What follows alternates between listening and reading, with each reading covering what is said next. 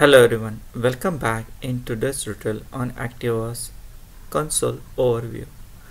In today's session we are going to see what are the things we can configure, we can achieve using ActiveVOS console. In previous session we have seen what is the difference between ActiveVOS console and ActiveVOS central.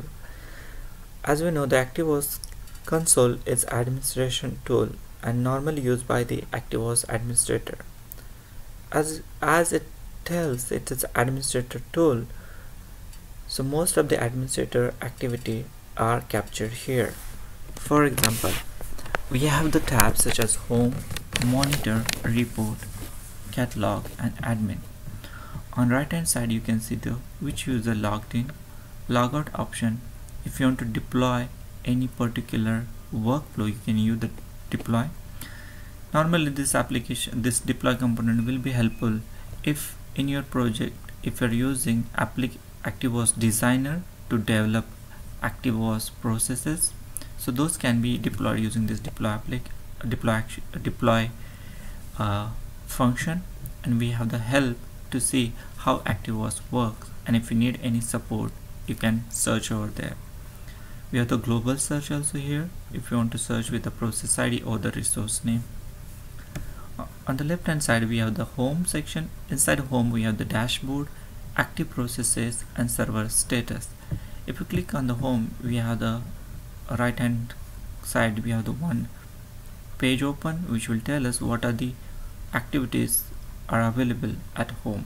We have the dashboard monitoring reporting catalog and administration.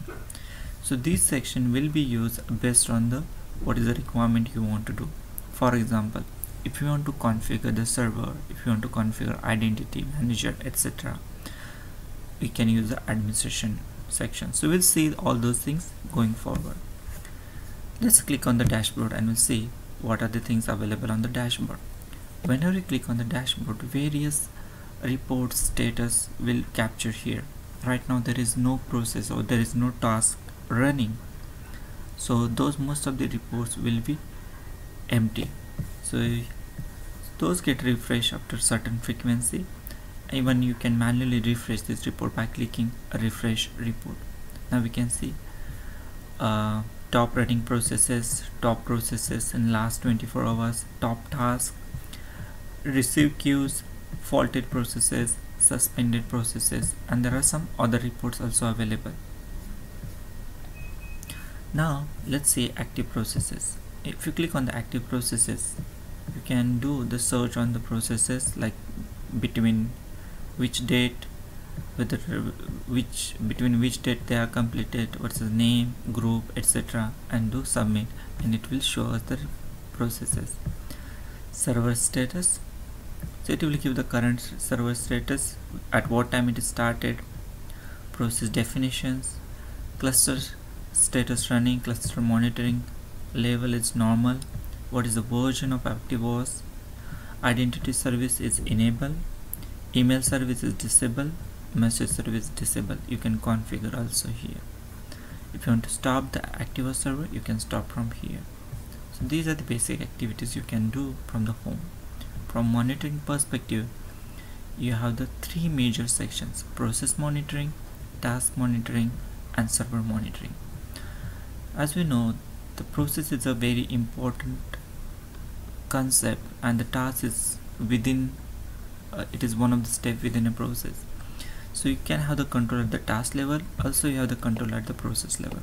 Of course server monitoring is a vital and it's also available not only with the ActiveVOS but any other server for example JBoss, WebLogic, WebSphere etc if you click on the process monitoring you will see the active processes alarm queue receive queues dispatch services so each of these things you can configure or you can look into those config uh, activities based on the your need. Similarly you can do for the task monitoring which has the active tasks and work queues. Then we have the server monitoring like server statistics deployment logs server logs and system performance. Let's click on the server log and see what is available there. So it is now processing and these are the server logs are currently available. If you want to see the server in uh, statistics you can click on the server statistics and you'll see various parameters or the properties and the corresponding its usage count minimum maximum average. So once we started utilizing the ActiveVOS task then you will see the most significance of this tool. But this is just overview about this tool and that is the reason I'm showing here then we have reports. What kind of reports we can get? We can get the process management report and task management reports like faulted processes how many faulted processes are there how many process execution time etc similarly for the task management we have the closed task summary open task summary. So right now there is no task that's reason there is no task created top task etc you can generate those reports.